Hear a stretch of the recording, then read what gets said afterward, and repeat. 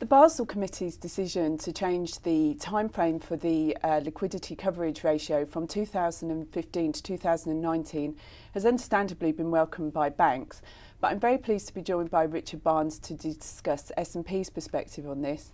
Hi, Richard. Hi. Can you start by telling me about what you think the timing is about? You know, why, why has the Basel Committee decided to do this now, do you think? I think the main reason is that studies have shown that banks have a large shortfall of liquid assets against the original requirement. And so meeting that requirement would have required them to deleverage more aggressively and constrain new lending, which would obviously feed through to an impact on, on the real economy. So I, I think in short, it really shows that regulators are, are a little more willing to um, to ensure that banks are able to um, to finance the, the global economic recovery.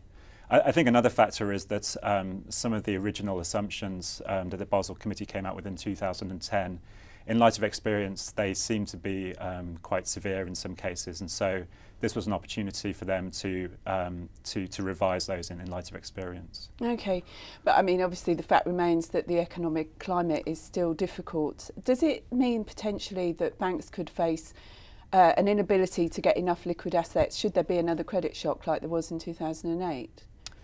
Well, I think the probability of a bank literally running out of cash is very remote because of the role of um, central banks as lenders of last resort. But what the, uh, the uh, liquidity coverage ratio requirement is really aimed at doing is to improve banks' standalone uh, liquidity positions so that central banks don't become the lender of first resort. So if you look at um, some countries, such as in the Eurozone, for example, you know, banks are currently very dependent on, um, on central bank funding and liquidity. And you know, our ratings really are um, reflecting an expectation that they will gradually wean themselves off um, that requirement to improve their standalone positions. So if the, um, if the dilution of the liquidity coverage ratio um, kind of lengthens the timetable for that to happen, then, then that could um, have negative rating implications.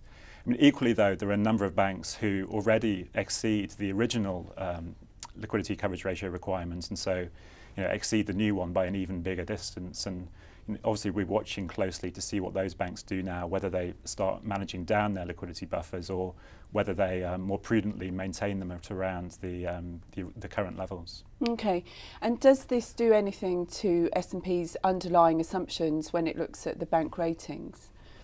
In terms of the criteria and metrics that we use to, to look at liquidity, then, then no, the change um, doesn't affect those. We continue to, to apply our own approach. I think uh, one aspect of the um, of the new regulations that we do welcome, though, is in terms of what it will hopefully bring in uh, better disclosure by banks of their funding and liquidity positions. I mean, this is an area that we've been saying for some time is, is inadequate and doesn't provide sufficient transparency about what they're doing. So hopefully in, in 2015 when the um, you know the transition period begins um, banks disclosures will improve and, uh, you know I think that could well help us in the analysis that we do as well. Okay, excellent. Thank you very much, Richard. Richard's the lead author on a commentary that S&P has just published on this, and I do recommend that for more detail. Thank you very much.